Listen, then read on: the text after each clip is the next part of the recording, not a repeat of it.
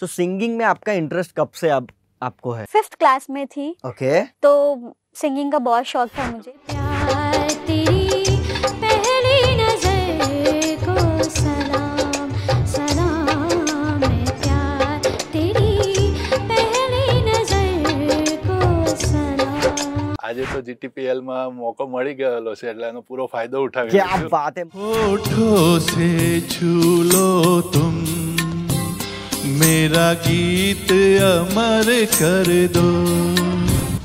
Open mic शनिवार सवारे नौ तीस कलाके मात्र जीटीपीएल गुजराती पर।